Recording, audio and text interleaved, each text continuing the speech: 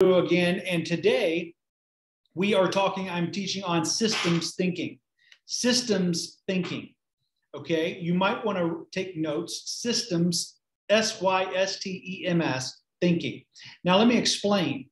Do you remember uh, a week or two ago, uh, whenever I gave you the uh, cash flow quadrant, and I and I had E for employees, S for self-employed, and then on the other side of the quadrant, I had B for business owner, and then I for investor. Do you remember that? Okay. And I said the difference between employed or self-employed and being over in the business category, the business owner, was that business owners have a system that works so they don't have to. Now they do work, but they don't have, it's not just their work. They don't get paid dependent upon solely their efforts. And self employed people get paid solely upon their efforts. An attorney can only bill out hours that he actually works on a client's case. Dentists, you can only pay your dentist or your doctor if you actually go to a visit. The doctor does not charge you because, you know, uh, if you don't go to see him. Uh, so it's time is trading for money. And so, but the business owners have a system that works so they don't have to. So I'm going to talk to you about that kind of a system today. And I want you to change the way and shift the way you're thinking about your business. Most business owners think, uh, most people, entrepreneurs, do not think with systems thinking. They really don't.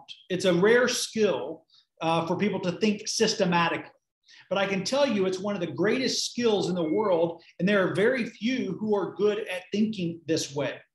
Uh, the, one of the greatest systems thinkers of, of all time, uh, at least of the last 500 years, uh, he actually helped governments create systems. If you think about it, there, there is a transportation system in nearly every country in the United States of America. There's highways, there's infrastructure, there's bridges, um, and it transcends each state.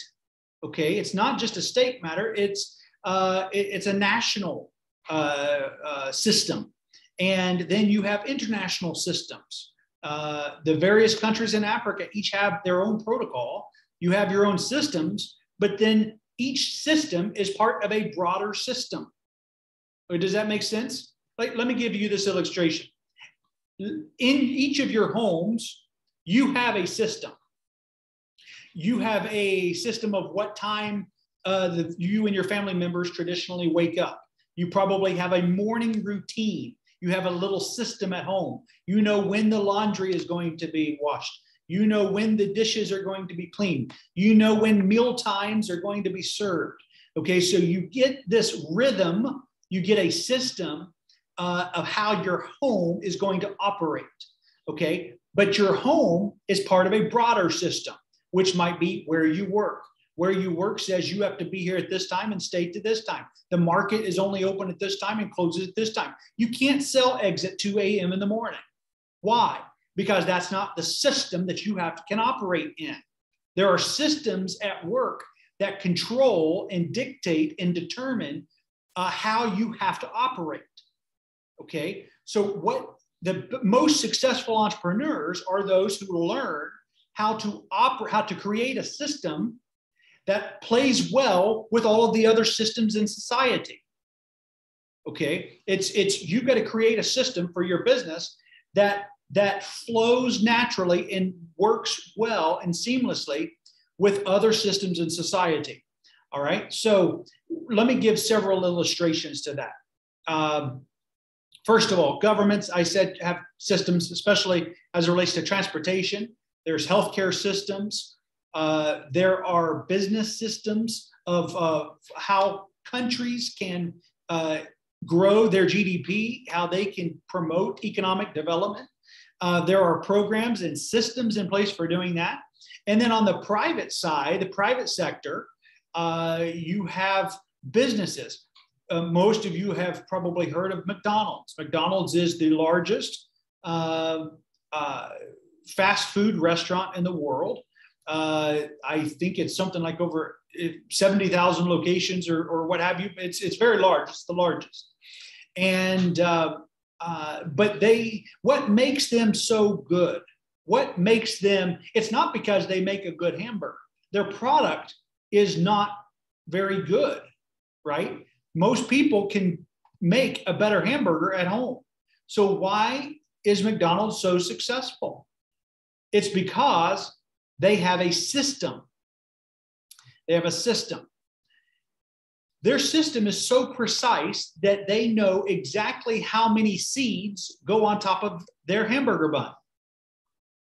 They don't just sprinkle onions on your hamburger when you order a hamburger. They don't just, uh, so sometimes it has more onions and sometimes it has less onions. No, they know exactly how, how many onions are on there and where they are. It looks like they just take a spoon and slap some ketchup on it.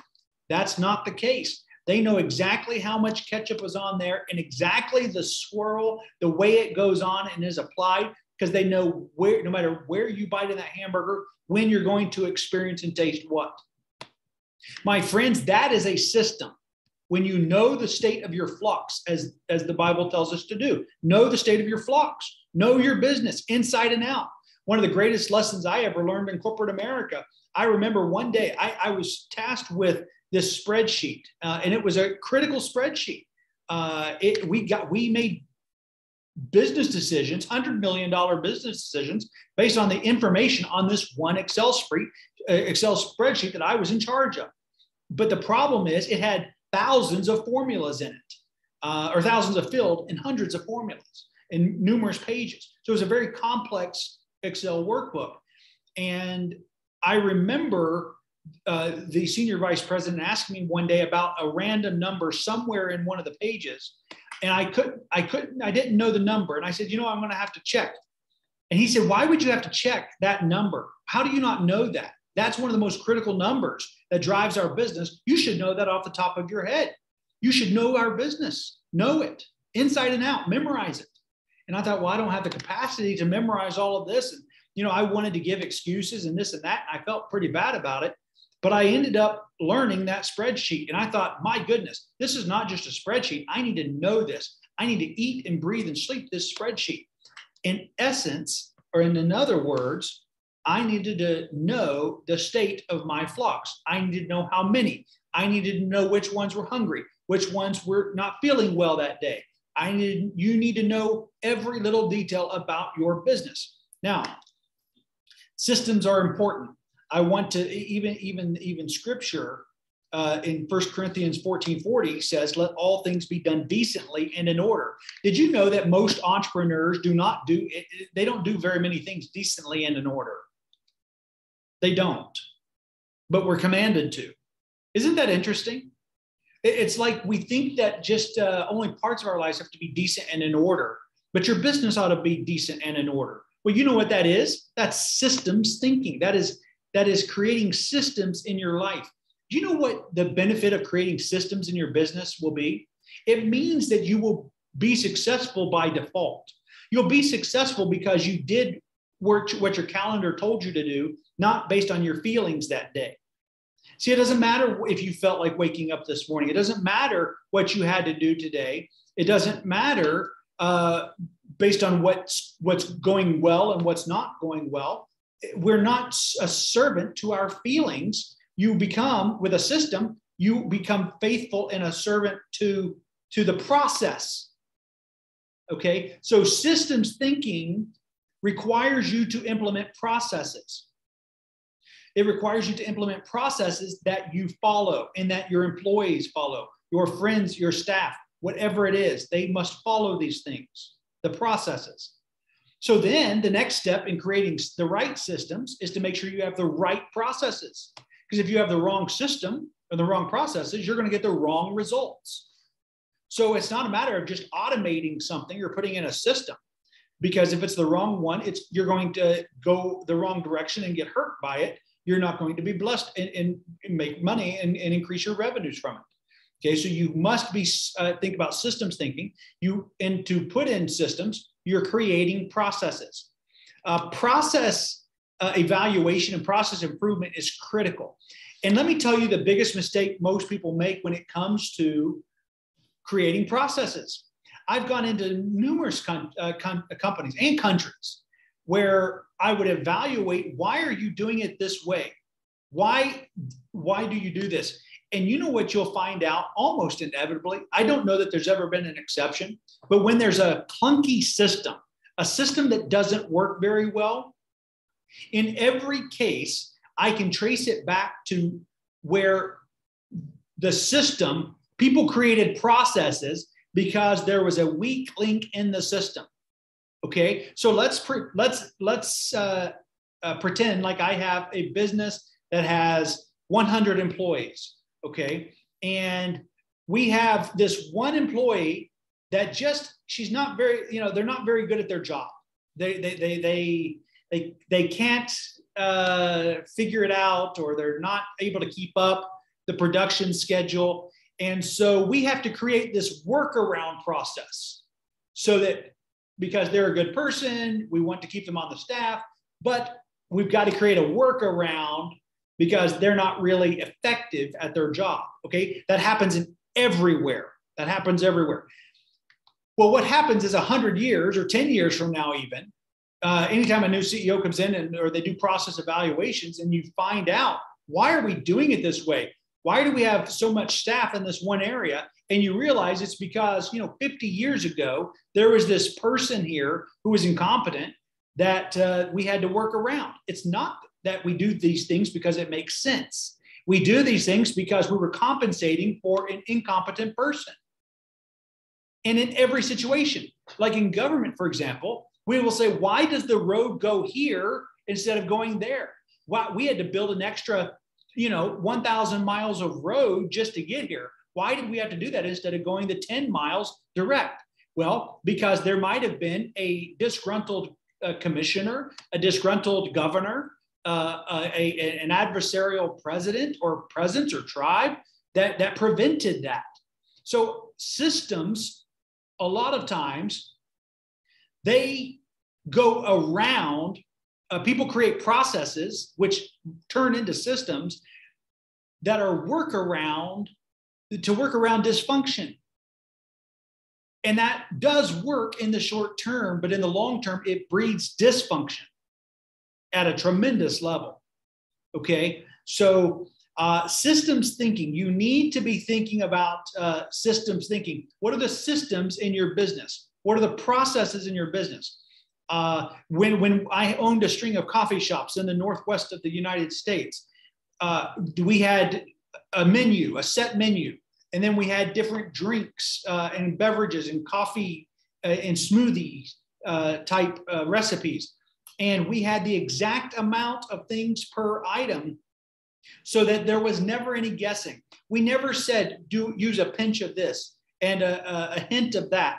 No, we were precise because just like McDonald's, if you have a McDonald's hamburger in Orlando, Florida, United States, it tastes the same as the hamburger that I had in Beijing, China. Do you see? It doesn't matter where I am in the world, McDonald's tastes like McDonald's. It doesn't matter that it's a 16 year old person who, who can't even make their bed in the morning making the hamburger because there's a system that's doing it, not just them. So once you have that system, the components of that system may be technology, it may be machines, and it's probably going to include people. So you have all kinds of components. There's always parts to a system, and those parts have to work together in order to create the finished product, the finished result. But a right system allows you to plug and play parts, which means if I have an employee that does this, serves this function in my system, in my business, and that person resigns or they leave or they pass away or they go on to a different job, it should not crash my system because the system is not built around a person. They are a part of that system, which means I can find someone else that, as long as they have the right attitude and the right spirit, I can plug a person in that part. Uh, so I want to explain parts to a system. Though you have the different parts, think about like an automobile. Okay, think about like a vehicle. Uh, this was one of the difficult lessons I learned as an executive running companies was I used to think that if I got the very best staff, that we would have the best company. I, I, I was running companies like I was a coach in the NBA or the NFL or you know uh, a coach of a MLS, a sports team. But companies are different than sports teams, you know, and, and even sports teams are, are similar in this sense. You you can't get a team of superstars, the very best person in each role on a team. You know why? The Dallas Cowboys have tried that for years and they still haven't seen a Super Bowl. You know why? Because of usually the different egos that come with being the best at each of these areas. So it's not the problem is not the lack of skill. The problem is that the parts don't work together. So back to the automobile illustration. Imagine if you and I were going to build an automobile. We said we're going to start a car company.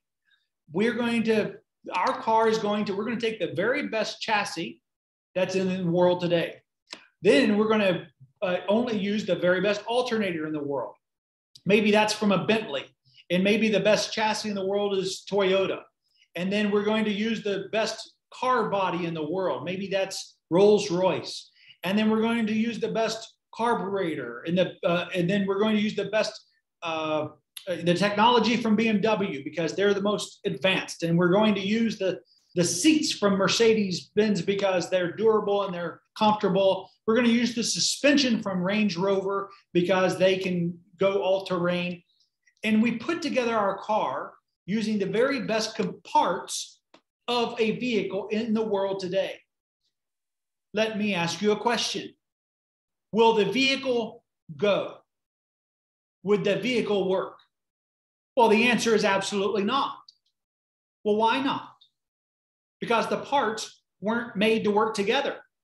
If you have a, a 2010 Toyota Land Rover, uh, Land uh, Rover, you aren't going to be able to put a Mercedes tire on that. You're not going to be able to interchange that with a General Motors or a Ford uh, uh, motor, right? You, it's because these parts have to work together.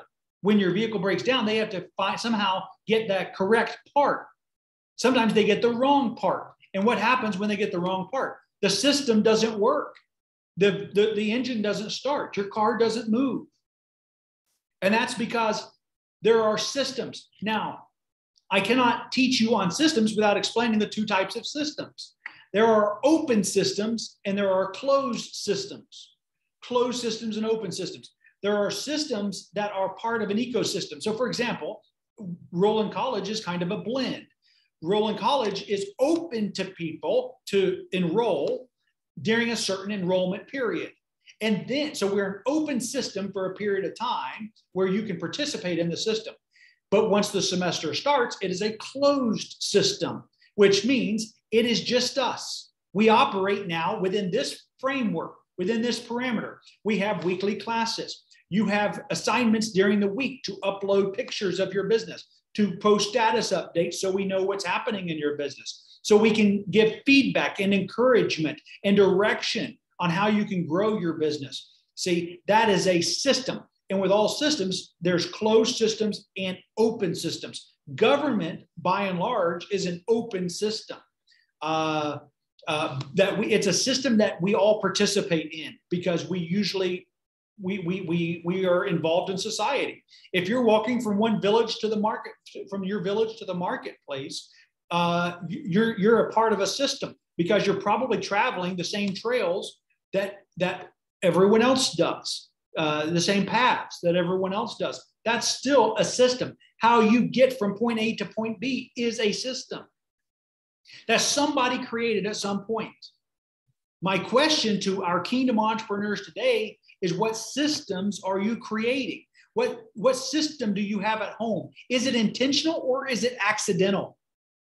I do not believe in accidental systems.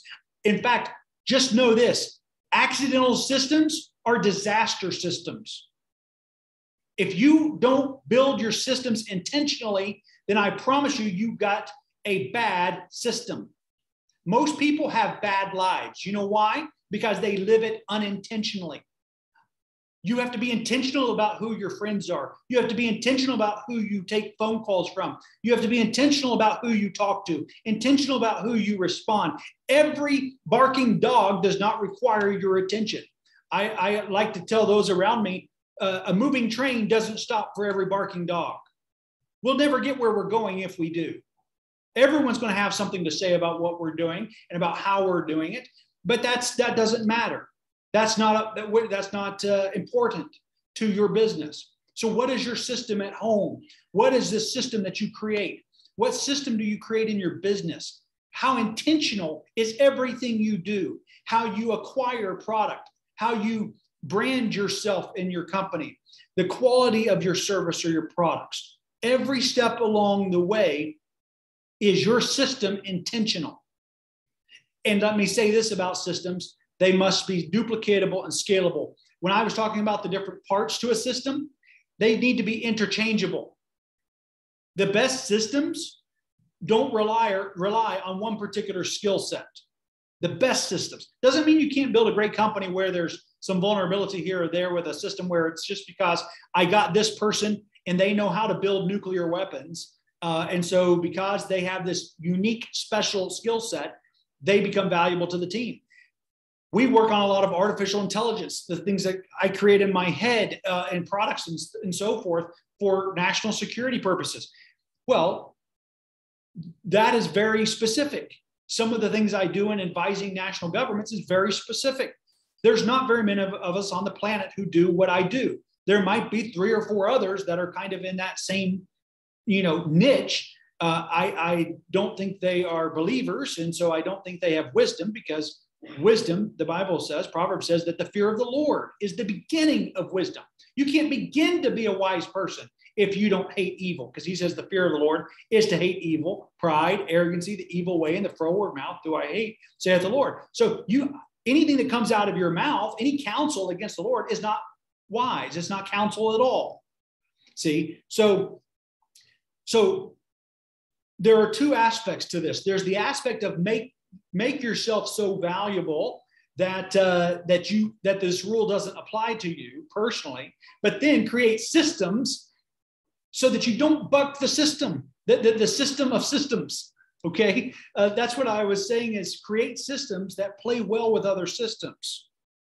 If I create a system that requires the transportation system to build new interstates and highways, that's probably not a good business, wouldn't you say? That's, that's not a good way to go because it's not going to happen. And it's not going to happen anytime soon, or it's not going to happen in my lifetime. So that's not a good strategy. It's not a good strategy at all. So uh, with that, I, I hope that the systems thinking, uh, I want to shift your thinking towards systems thinking, process thinking. And do I have a closed system or an open system? Uh, what inputs or parts and components do I have into my system? I even can take the system down to myself. If I am a system, and by the way, God created us as system beings, did He not? We're, we're body, soul, and spirit. Can you imagine if my right arm did not want to work with my left arm? Or, my or the funnier part would be if my right leg did not want to work with my left leg. I'd start walking this way uh, in my right leg, and then my left leg wants to go this way. And then what would happen? Whoop! I'd be doing a split and I wouldn't go anywhere. but our body is a closed system, right? It's self contained. Now, there, like with any closed system, there are outside pressures and influences. What I eat, what I put into my system, we even call it a digestive system, don't we? We even use that word. So when you put things into your body, uh, you are putting things into the system that can either help the system or have an adverse effect on the system. Same thing with every system you have. Things we put in our mind, things we watch on TV, things we read, people we listen to. So, so our ear is a, a, a, an access point for systems for our system, for input into our system. Our eye is another way we get input into our system, right? Our eyes, through what we see and through what we read and through what we hear. Sometimes through our mouth, what we eat, what we drink is all input into our system. And, and, uh, and that those inputs are what determines if your system works smoothly or whether it does not. And friends, let me tell you, kingdom entrepreneurs, what you put into your system the people, the products, the services, the ingredients, almost like baking a cake, the ingredients you put into your system is either going to enhance your system or destroy your system. It's either going to cost you money or it's going to make you money. So, what you need to do is sit down and you need to think through your business and you need to think through what are the processes. You might have thought, I don't have any processes, I just do it. I just get up and I go fix the cars that I need to work on that day, or I just go clean the houses. I don't have a system. But the truth is, you do. It's just not been intentional. You may just pick up your your shirts and, and, and pants and take them to the market to resell.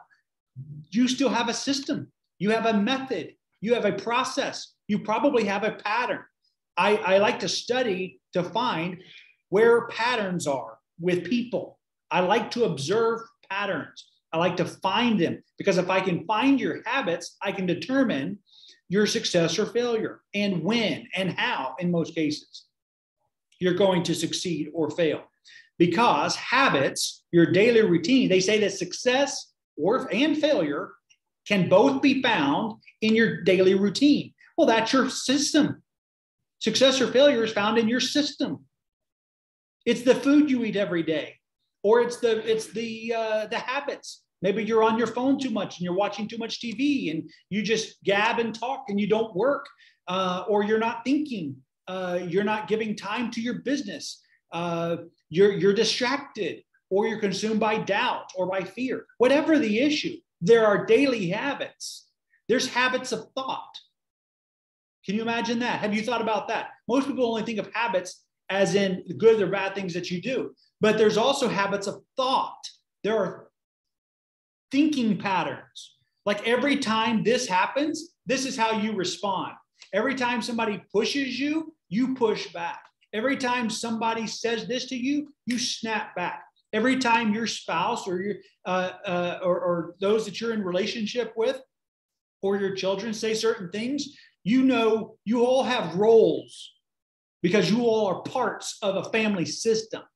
So if if Uncle so and so says this, you know what you're going to say back because you know what your role is in the family. You know what your part is in that system. Tribes, every tribe has a system, don't they?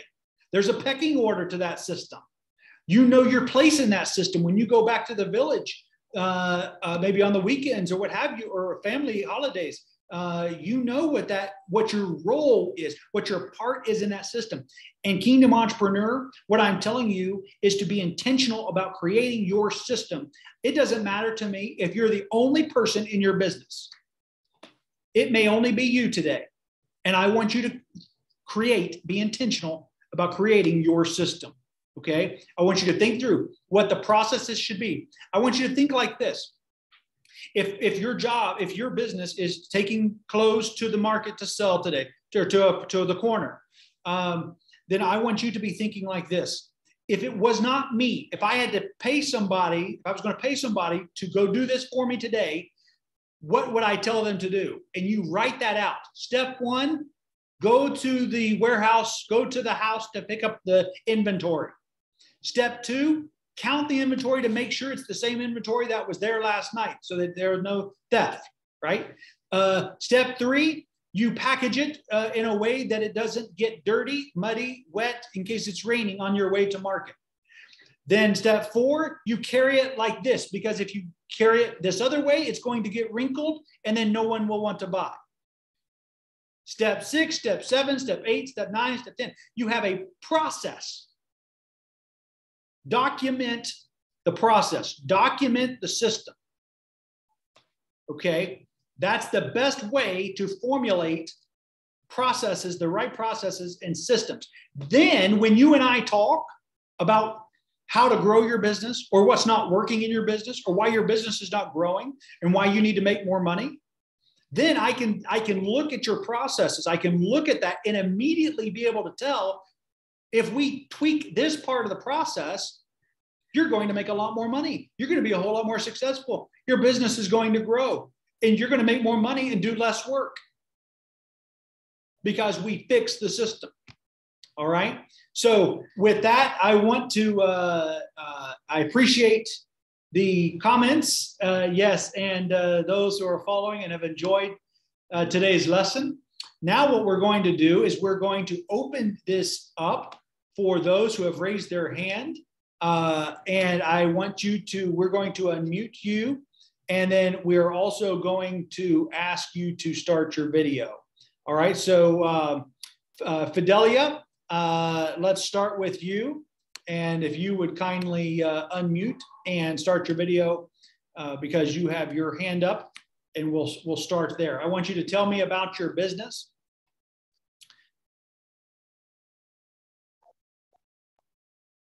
Fidelia, we'll give you one more moment and then we're going to move to Cynthia and then Lucian. Okay, we'll go ahead and go with uh, Cynthia. Give me one moment. Let's take uh, uh, greetings. Uh, I have a question. For me, I want to ask uh, about. I for me, I wanted to start to start a a business that is selling second-hand clothes. As I, as I started this meeting, I had told you about starting a business of second-hand clothes. So, uh, according to my business, with the open uh, open system and closed system, how can it come about? How can it range to the open the closed yeah. system? Yeah. Then I have another question for last week. Uh, you had said that you will have to give us the link of uh, business women of Africa. I I tried to to look at your your your links, but I, I did not get the the link. And then you had said that you'll have to share with us the WhatsApp group. How, yes. how did it go about it? Yeah, thank you for that question, uh, Cynthia Adisa. Uh, and and what's uh, so first on the Fearless Women of Africa, I did want to give a shout out to the ladies who joined that last Thursday. Uh, many of you did, and we got great feedback and I, from you. I remember, I think uh, I saw a message that Pamela might have given a, a status update uh, that she attended and that it was very, very good and encouraging and a great thing. So uh, if you go to myrollancollege.com, uh, you will see events, a tab at the top that says events. And if you click on that, Fearless Women of Africa is one of those events. Uh, so is the Courageous Men of Africa. So there's one that's just for men, and there's one uh, mentorship, spiritual mentorship that's just for ladies. And so you can go there and it's got the link and the date, the times. So for the women, it's every Thursday at um, 9 p.m. Uh, excuse me. Uh, I think it's every Thursday at 9 p.m. East Africa time. Uh, and then yeah. Uh, for the men, courageous men, it's the last Monday of every month at 8 p.m. East Africa time. Uh, and, and for the men, just so you know, we held a big rally, men's rally last uh, uh, August in Nairobi, and we had 5,000 men uh, participate. Uh, some drove se- uh, several hours to be there for that event. And so we're, we're very thankful for those two programs on the continent and, and, and the, the leadership that, that kind of drove that. We're very thankful uh, for for them and for each of you. But hopefully that will help you because if you go to that event it has the link right there. And all you have to do is join that, click that link um, every Thursday at 9 p.m. East Africa time. And uh, that is led by uh, Mrs. Lynn, Lynn, L Y N N, Benway, Lynn Benway, a dear friend. And uh, she and I actually spoke uh, a week ago Friday on the phone, and uh, just a just a sweet lady. Okay, let me answer your other question uh, on the closed system and open system as it relates to starting a second-hand store to take to market uh, clothing. So here's what here's how I want to apply that to your specific circumstance. I want you to think about how you acquire the clothes, like where you where you source them from, how you get your clothes, secondhand clothes. uh, and how you clean them and how you get them ready to present at market, that needs to be a closed system. Okay, so think about that as your operations. Your operations is your closed system. But then once you get to the market, now you're part of the open system. And so your closed system has to play well with that. Okay. So the open system is something like um, this is what time we, we have our stuff needs to be set out every day by this time. Okay. That's the start of the open system. And then part of the system is going to be you need to display the clothes like this. And that's whatever way you find that's best, that people can see it, that they, it showcases the best part of the clothes. Or maybe you end up having somebody that, that wears it or models it, demonstrates it, whatever. All of that's part of the marketing, but that's part of the open system. And so, so Cynthia Adisa, I want you to think, uh, uh, Madam, how how your products, your clothes will then interact with this open system. What do I need to do in order to sell my products to this open system? What will catch the eye and attention of the people passing by, of my potential customers, my potential clients? Whatever the answer is to that becomes your process and your system. I'm going to give one other example. It doesn't specifically relate to you, but it will with, with many other people to ex- uh, explain this further. In that open system, a lot of times businesses, maybe in skincare or food or agriculture, or if you're a cook, uh, one of the great ways to get new customers in an open system, the open system part of your business, is to give samples. So if you make brownies or cookies, for example, I'll use cookies, uh, then sometimes you may take one cookie and break it up into pieces and let people just sample that as they're going by. A lot of Asian restaurants in the United States, that has been their sole marketing strategy. And I confess, there's many times that I've taken the sample and that was just fine. I just I didn't buy anything. I enjoyed it and it went along my way. But there's also been several times where I took a bite and I thought, you know, that's just really good. I'm going to just go ahead and order some. And I bought their their the, the, the meat that they were sampling. And so sampling is part that's a way that that business was interacting with this open system. I might have been going to do something else, but because they're catching me as I pass by, try this. They'll offer my wife skincare things. Here, put this on your face. You know, try this. Oh, no wrinkles. Yeah, she doesn't have any wrinkles anyway, but you know what I mean. uh, just here, try this. And they try to get you to do things. And uh, you know, that's just that's how that those businesses interact with an open system. So I'm giving you those ideas because you're going to have to decide what what is the right process for you to interact with your open system. But I can tell you, the right answer for you is different than the right person in Kakamega. It's the it's a different answer for somebody that's in Kisumu. It's a different answer for someone selling on this corner versus that corner, or in this marketplace versus another marketplace.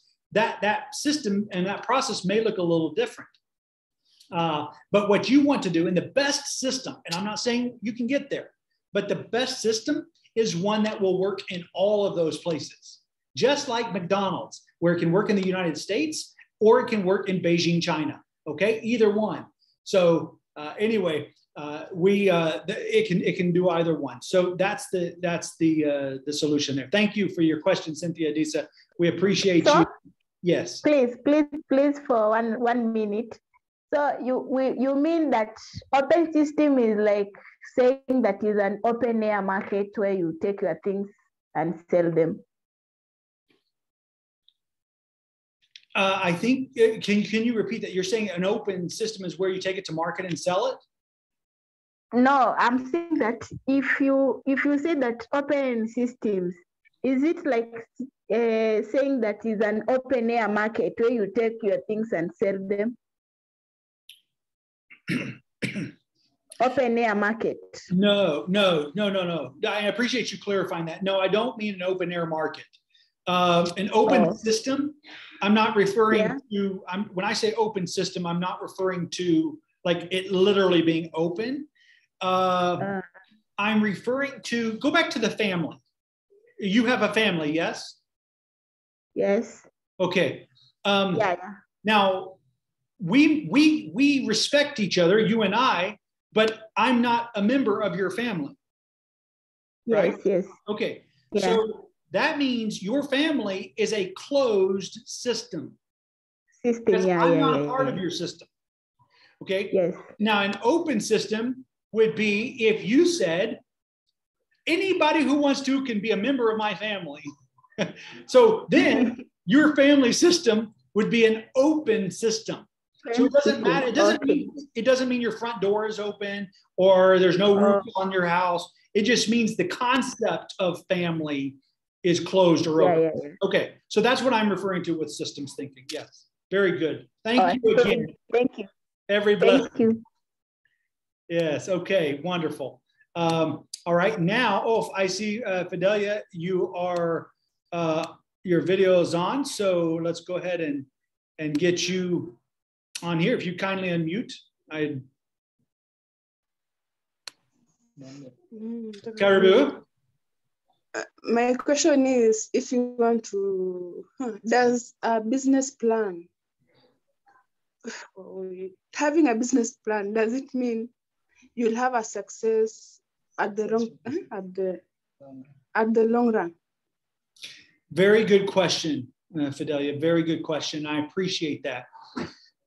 And um, Through the open system, if you choose the system. I'm going to uh, answer the, I'm, I'm going to answer that in this way. Uh, having a business plan helps, but it does not guarantee success in the short or long term. And I really appreciate this question because I needed to explain this to the class. A business plan a good business plan is going to be outdated next week. So the moment you think you're done, it probably has to be done again and again and again because conditions change so rapidly. Uh, places that are open close, and this place opens and closes, and people buy and sell different things. And so, or what they bought last year is out of date this year.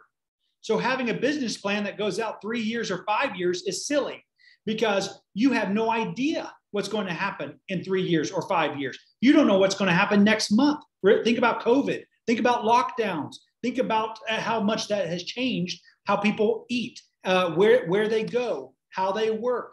It's changed a lot of things in the world. It's reordered many things in the world, uh, good, bad, or indifferent. It's just what it is. So but the best but it doesn't mean you do not have a business plan even though you know your business a year from now won't look much like it most likely because businesses have to be flexible and adapt to changing conditions see so but the benefit of starting with a business plan is it forces you to think through the business all the way that's the value of a business plan is not the information on the paper. It's that you actually are forced to, to really confront every aspect of your business because most entrepreneurs are not good at doing that. They think, well, I'm just going to make this product and I'm going to take it to the market and I'm going to sell it. End of story. Well, uh, that's not a very good plan because that might work for today. It might work for a month, but you're going to be hungry in six months because you're not always going to be able to do this. Uh, there's a better way, there's a better plan, so a better path. So, business plans are valuable to do, but they don't guarantee success. And I do encourage you to keep your business plan up to date, probably about once a year, because you can't, if, if not, you never stop working on it.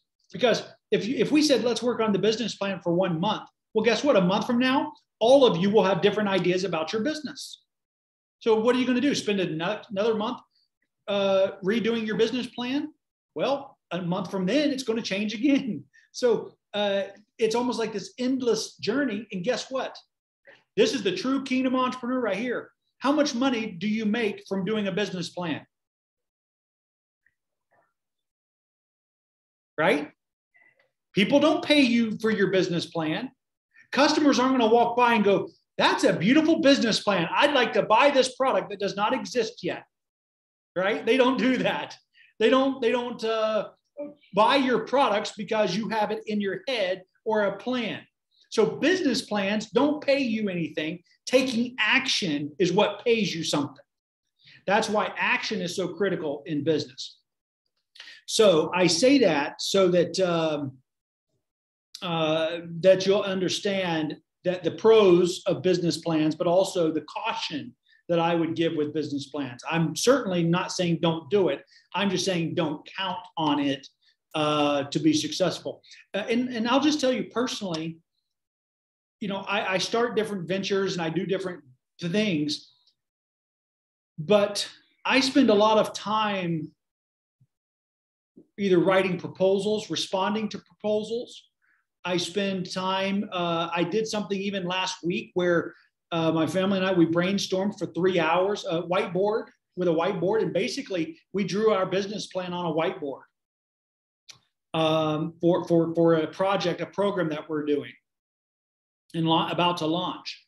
We, um, and then, but I didn't stop there. Then I've spent hours building a website and developing the website.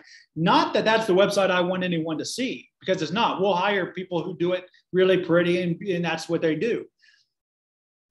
But the benefit to me was the, the benefit for me doing that was it forced me to articulate it in, in written form. Uh, so when I was writing this out, there were times where I struggled. So I had the business plan, but whenever I came down to the website, I had to explain this in bite sized increments so that anyone that would go to the website would be able to understand it, agree with it, and take action on it. Well, guess what? That that forced me to develop the idea even more because I realized the holes in it. I realized, well, I've got to solve this. I've got to answer that. If somebody was just looking at this, they would be like, well, what about this and what about that? Well, I I need ha- had not previously answered that, so I had to be able to put my business plan in a story form. Take note of that. What's more important is that you take the business plan and create your business story, your corporate story. Uh, the best stories are, let's say, let's say uh, someone did not have very many clothes growing up and so they always used this and that and so the reason they started their resale clothing store is because they wanted to give other people a chance at wearing fresh clothes uh, you know or, or having more options to wear or uh, maybe they cook because they didn't have much food when they were little and growing up. So there's always these different reasons, whatever the story is, for why they started the business, why they do what they do. But you're translating that business plan into a story about who you are, what you do, what you're about. And that's that's where the, the, the success comes from. So um, I, I appreciate that question. Uh, and thank you for, uh, uh, for, for attending and being on today. Most appreciative. Asante sana. All right, let's go to, uh, hey, eh, yes, uh, let's go to uh, Gerald, if you will kindly unmute and we will be getting that. And I want to get, I don't know, we will, give us one moment here. We're going to get the link for the uh, uh, fearless the, the, for the for the courageous men. It's this the same link that I use for this, uh, but for the fearless women, uh, we're going to to post that. Uh, I I want to to post that here. We'll post that in the comments for you give us one moment, and then uh, Gerald, you'll you'll be on base here.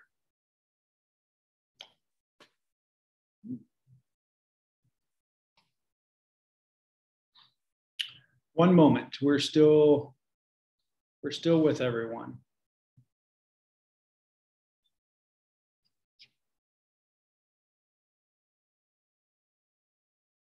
Because we are at the Capitol, I think there's a there's a extra steps that we are taking.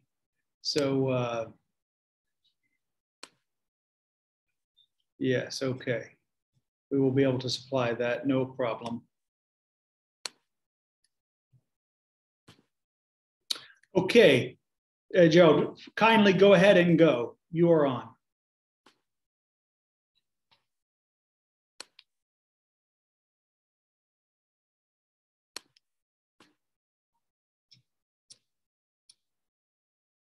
Uh-oh. He is still trying to unmute. Okay, that's okay. Go ahead and work on that, and I'll try to catch you catch you uh, here in a minute. Uh, all right, let's go to um, Felina Alamande. Let's uh, let's jump here. Go ahead and unmute. Karibu.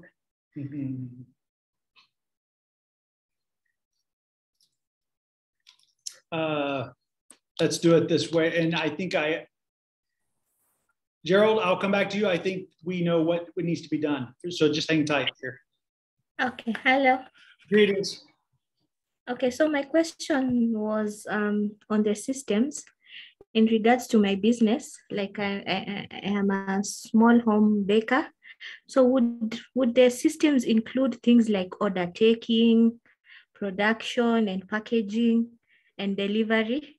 Yes, you just nailed it.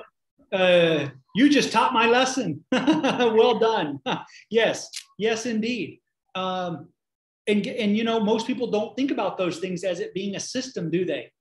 They just think, oh, I'm going to get it from here, and I'm going to get that from there. Then I'm going to do this. They don't think about it. Uh, but you just mentioned the different parts to your system.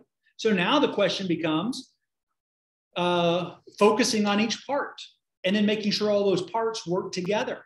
So let's say that you currently are doing all of those things, but that your product is too expensive.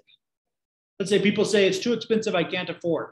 Okay, well, you may not need to change it. You may just say, well, you're not my target, uh, my target customer. If you can't, you know, my goal is not to be able to make it affordable to everybody. But let's say that it's somebody who should have been able to afford it and can't, and you want to make it more affordable. Then what you need to do is go back to your system and say, okay, here's my various parts. What's costing me so much money in my system? And, if, and maybe it's more than one part, or maybe it's just one part. And then you can say, you know what? It's my ingredients. I'm using the highest quality ingredients. And so they cost me a lot more money than if I used ingredients that were just not as good. Uh, and so you either you have a decision to make as a business owner.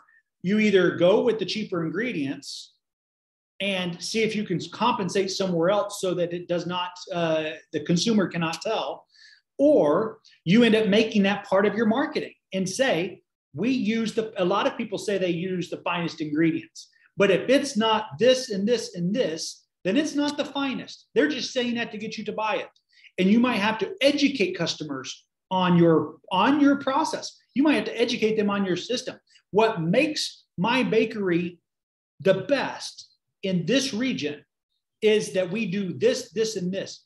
And that's what people haven't understood is a lot of companies use parts of their system as their best selling point.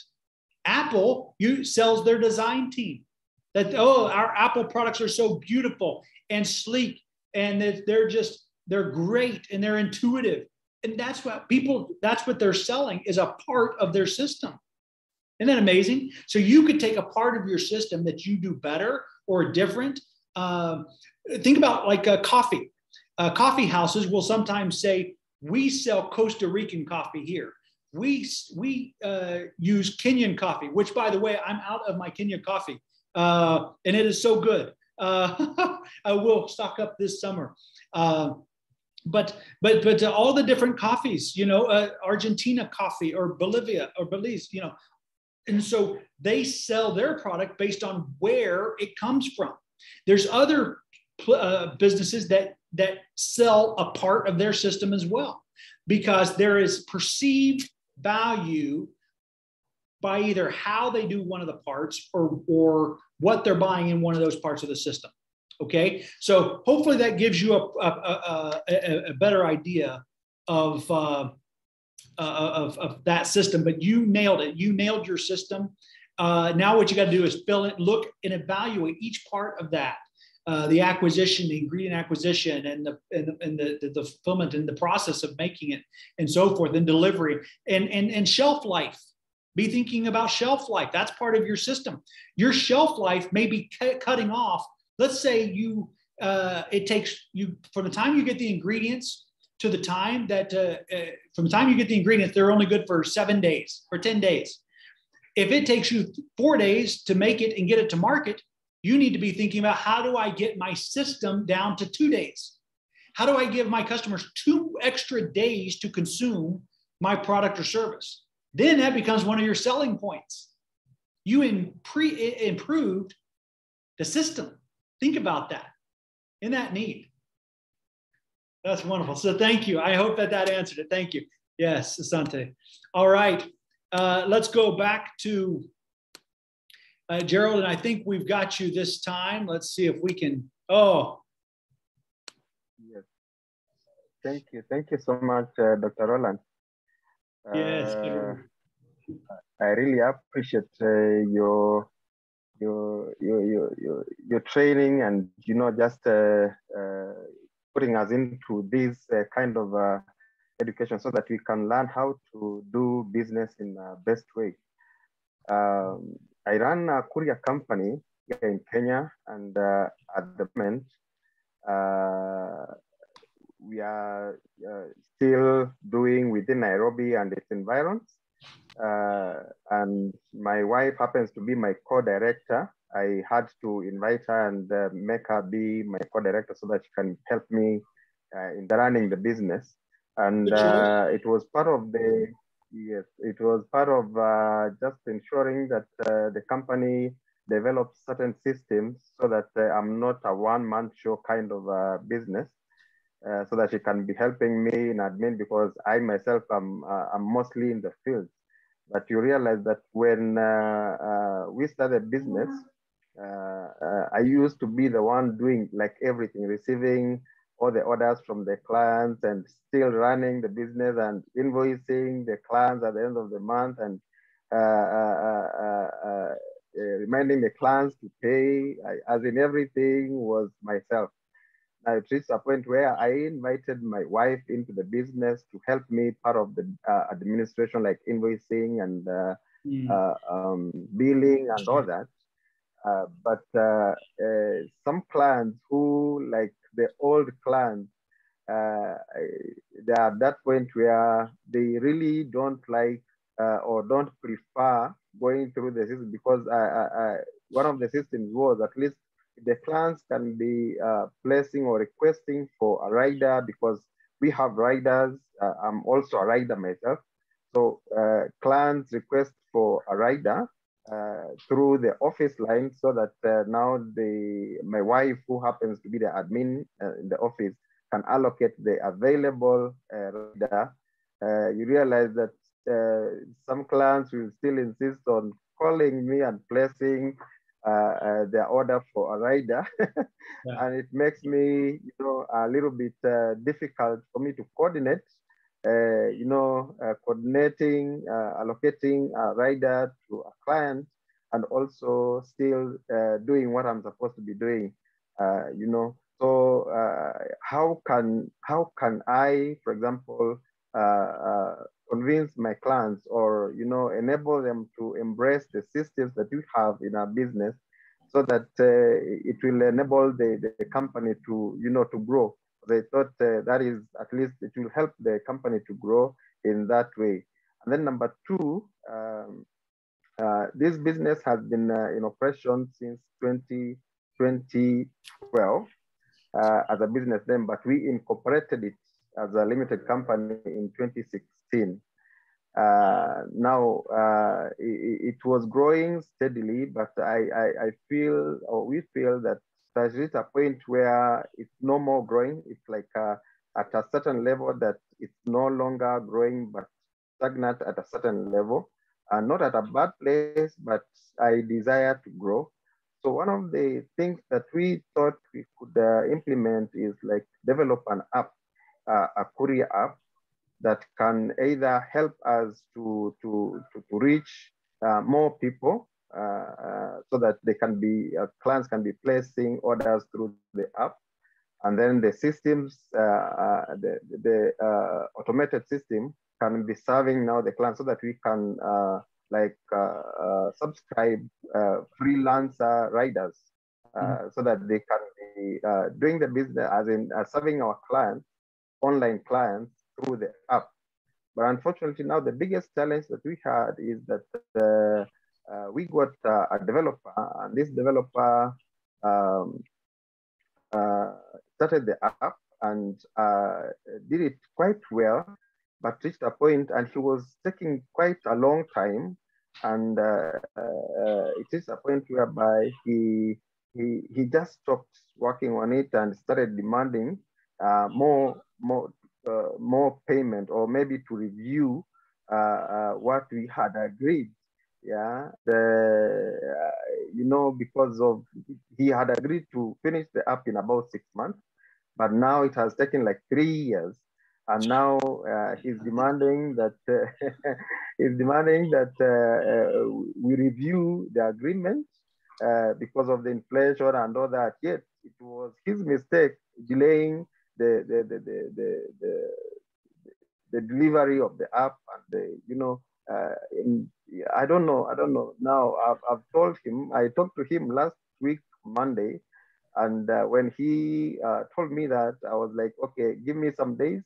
I just think over it, and then I come back to, to, to, you because I'm not now, I'm, I'm not sure, or I don't know whether to still pursue him to finish the, the, the app or whether to abandon it altogether and look for someone else.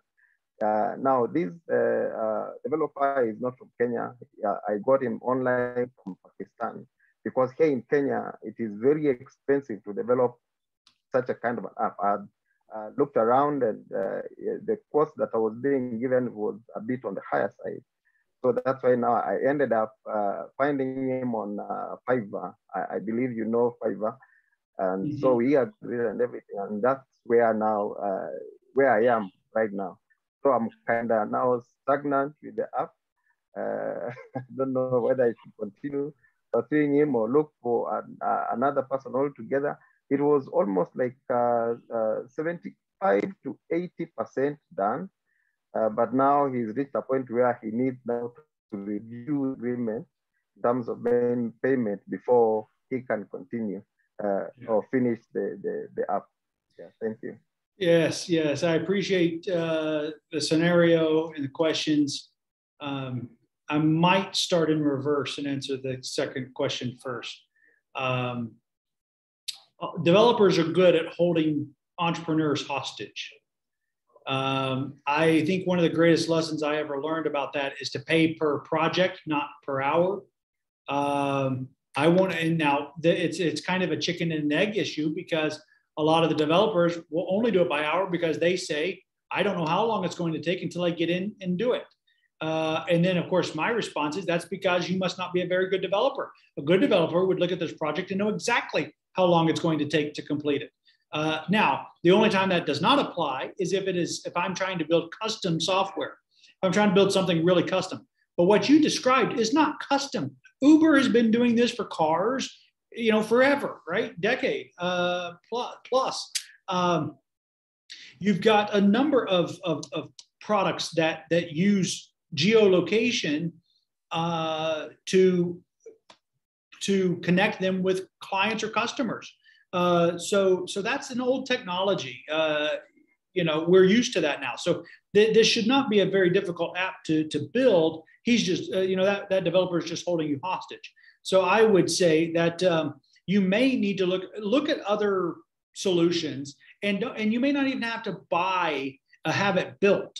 Look at um, apps that might be able to, uh, you might be able to use their platform, uh, location sharing apps, uh, where you can integrate it, where maybe it's even on your website or something, uh, where they can just place the order online and it automatically connect to the nearest courier uh, because you have location tracking on each of your couriers, even though they may be uh, here we call them 1099, but like independent contractors, you know, uh, that you have doing it uh, you're taking a, a, fee for getting the business for them, getting clients for them, and they get the rest, you know, so you manage that side of it.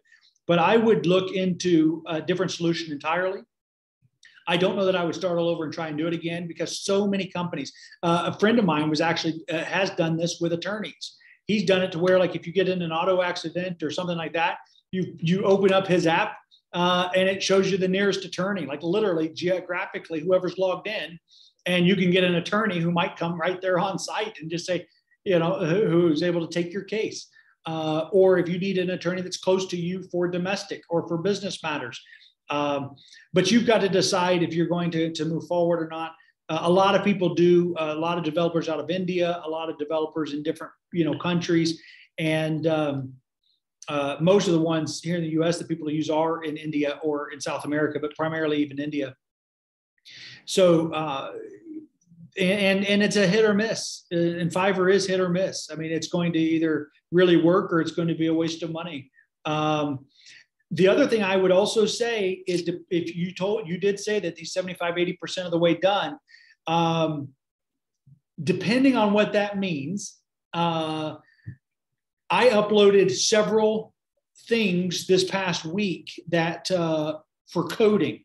And the reason I bring that up is because some of the examples were based on it, it, gave if you were trying to do this or that then then then this is the the coding language you need to learn uh, and i have another one that i'm going to upload uh, uh, in a bit one and it's the best websites to learn coding based on what you're uh, to uh, but and they're all free most of them i think are all, or all of them are free websites uh, and one of them is a place to even showcase different projects uh, that you've done.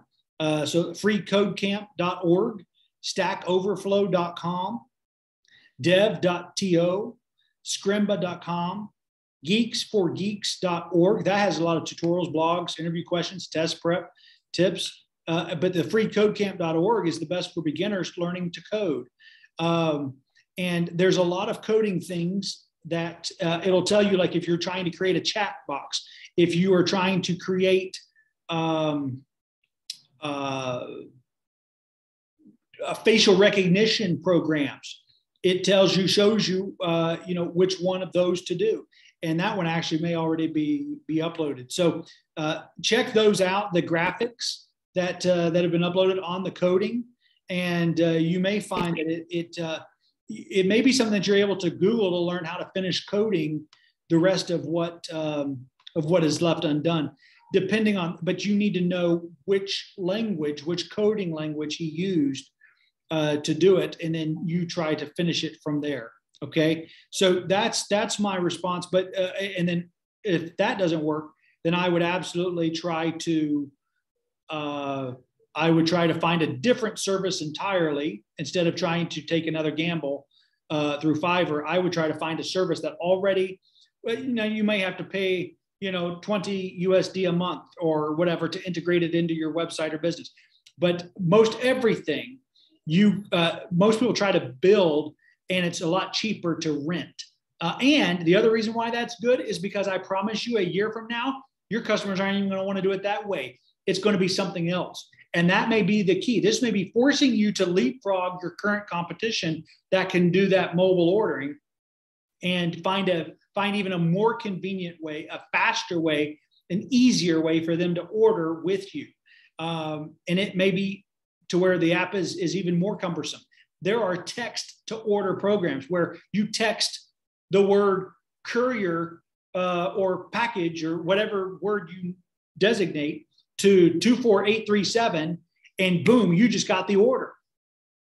You know, that text to order uh, uh, all the it is very popular in the United States. We have text banking, obviously, and same thing in Africa, but where I can uh, withdraw money, transfer money, deposit money, you know, uh, or move money from one account to another with texting, uh, text messages. So there may be other ways that uh, might be less expensive.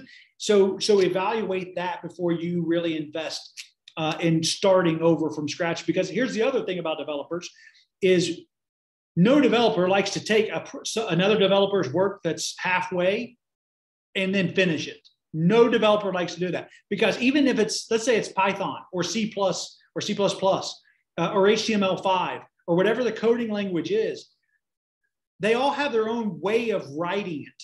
You know, it's kind of like uh, English or Swahili. We all can speak whatever the language is that we speak. But if we all had to write an essay on today's class, we all heard the same thing. We might speak the same language, but it's going to look totally different because of how we all write. Our styles of writing are different. Same thing with coders. Their style of writing is different. So if you, it'd be like you handing me your essay and then me having to make it my work, but it has your tone to it. It, it, it wouldn't work. It would sound, it wouldn't work the way it's supposed to work. So there's that as, uh, aspect of it too, where it doesn't matter how much is done. That's why they can hold you hostage because they know no, nobody else will finish it for you. so, so you either do keep paying or you find another solution. And I'm kind of of the opinion, find another solution. And let me tell you why, friend. Because what happens whenever something breaks on it? You're going to go back to him? No, he's going to keep charging you to fix every little thing on that, even after it's done. I wouldn't do it. I don't think it's a good. I think it's a that'll be a weak link in your system if you do. So let me go to the first question. The first question: uh, How to get people you've been growing? How do you get them to change in, in, in order through the systems that you've established? Uh, here's the here's the great thing about it. That is natural. That's normal uh, for them to want to, you know, continue ordering with what's familiar to them. I think every entrepreneur goes through that. On one hand, it's a compliment. On the other hand, it doesn't. It's not sustainable. Um, but since it's been several years and they're still not following the system, uh, there are several ways that you could do it. Number one, you may actually even need to forward your number to your wife's phone or to the business phone so, so that you don't even take the calls, period. You get a new number altogether. Uh, that's one option because the moment that number doesn't work for that, they will find a way to get to you. The second thing, uh, especially if you've already told them, uh, or the other thing is every time they call, don't do it for them, right? You can't say, now this is the last time I'm going to do this, uh, or, or, I, or you, you know, I'm going to do this, but this will be the last time. But you can't say that every time. If you say this is the last time, it has to be the last time. But, uh, and you say, you know, uh, or the other thing is to always be busy. Uh, I'm sorry, I cannot. We have we have a number designated to taking orders. Would you please program this in your phone and call this number? Uh, and because I want you to have good service. Why do you want them to do that? It's so that they can have good service. They're not going to have good service with you. If I might be the CEO, but if I take your order, I'm going to mess it up. Do it online. Call the 800 number. Call this because if I take it, I'm going to mess it up, and we want, don't want to mess up our customers' experience. So please do it this way so that we can treat you with respect and your package and every and you have a seamless customer experience. So a lot of it might be education and helping them understand why uh, you want it done this way. But as long as they think, hey, I can just call Gerald, I'll get it done right now. This is what we just got him on speed dial, and it's he and I are buddies. I can just text him and we'll just get this done. Um, I think I would let him. I would let them know. Uh, you know, we've we've we've done this, but it is it's uh, things are falling through the cracks if I do this, and I don't want you to have a bad experience. I don't want anything to hurt our relationship, and so please do this. And and and I even say to some people, I would love to do what you're asking me to do.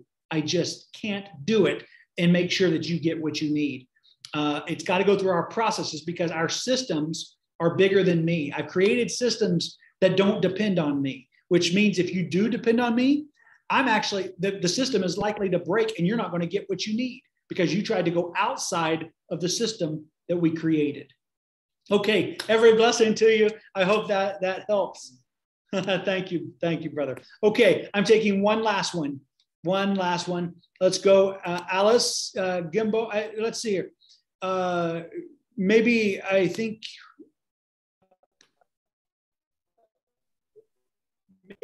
I'm uh, uh, Elenio, I'm going to try to get to you here and here, and maybe we'll do one more. Okay, go ahead. Okay, go ahead.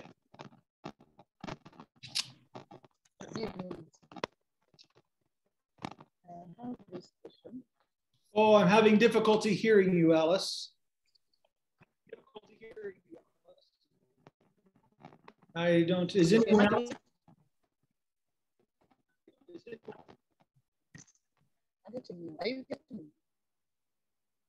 Hello? Yes? Hello? Yes. Yeah, I need a sort this. I once started my business in 2014, uh, whereby did Then my business had been established well in West Pokot. And then I had to move to Kakamega, hiring some. Uh, so while I was in Kakamega, Alice, let me, uh, I, I'm sorry to, to interrupt. I, we're really struggling to make out the clarity. So would you um, uh, write a status on your profile at my, on your business profile at myrollancollege.com and I'll get to it uh, by tomorrow. Okay. And I'll go on and answer it. So if you'll write out your question in your status update at myrollancollege.com, um, and I'm going to be looking for yours. Okay. So write out what your question is. Um, and then that way I can, because I think the network is probably not good at the moment. Okay. Thank you so much. Thank you. And it's great to see you. Great to see you. Okay. Uh, hang on one moment. Actually, uh, I, I apologize. I did this. Okay. Uh, Alenio, excuse me. Alenio, uh, you are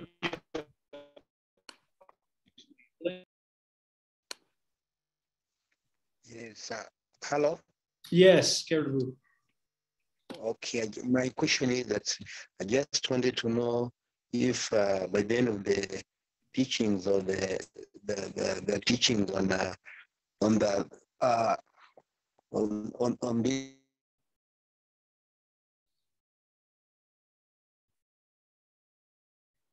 this program entrepreneurship for this program uh, that great question. Uh, if you would kindly direct that to the leaders uh, in the uh, that, that that are overseeing that, uh, uh, that would be Sammy and Bishop Evans and and uh, Azaka Wawiri. They will be able to give guidance on that specific aspect of it. What I can tell you is that my goal is that no one in this class wants or needs a business loan at the end of Rollan College. And near the end, one of the lessons that I give you is on funding your business. And I'm going to go through a number of different scenarios. My goal is to make you so successful and that your business is making so much money that you're like, why in the world would I even take a loan just to pay interest and pay more money back? Now, there are times when that may be called for and that may help and support, especially if you have a large capital expenditure. But even then, if you had a large capital expenditure, such as equipment, um, is it, here's the question for you. Is it better to take $100,000 and buy a piece of equipment? Or is it better to buy that same piece of equipment that is used for $10,000 and uh, do without it for a few years and save up the same amount of money you would have had to pay to that loan at 100,000 um, uh, save that amount each month and be able to pay in pay for it uh, for 10,000 all up front for a used machine. You will find 9 times out of 10 it's much smarter and a lot less stressful on your business if you will buy the used machine. The problem is the loans that they give you for equipment, they require you in most cases to buy their new machine. But that's a bad financial decision in a business. So why would you do that, especially startups? My goodness, that's that's very unwise, and that's the kindest word I can think to say. Uh, a lot of uh, un, unkind ones, but it's just not smart. It's not good business. So my goal is to help each Rollan College student build a successful business this year, so that uh, at the end of this course, you know, maybe they'll take it, maybe they won't, but they don't have to. Uh, so anyway, but uh, so that's my my short answer on that. But certainly, uh, uh Sammy in the uh, he leads. You know, he's leading a lot of the communication for us on the WhatsApp and other leaders there. Uh, we'll be able to answer that uh, specific question for you. Uh, Bishop Evans and Bishop Wawiri uh, we'll be able to address that. Okay, very good. I want to thank you for that question. Thank you, sir. Uh, and, and, and every blessing to you. Certainly want to learn more about your business uh, in the coming days.